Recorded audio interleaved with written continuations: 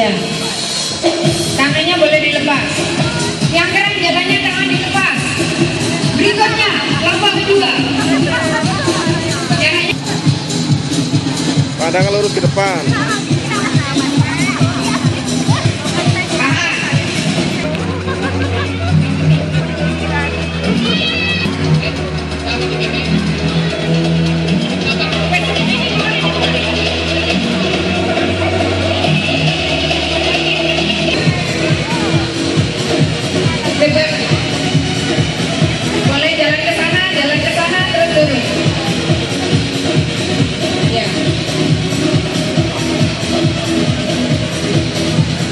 Iya. Busana nomor dua. Ya, berdiri dulu sini. Baru ke pojok sana. Ya, bagus.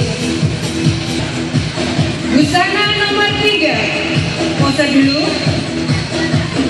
Putar ke sana, naik ke panggung lagi, yang naik ke mana? Busana nomor empat. Pose dulu. Ya, baru ke sana.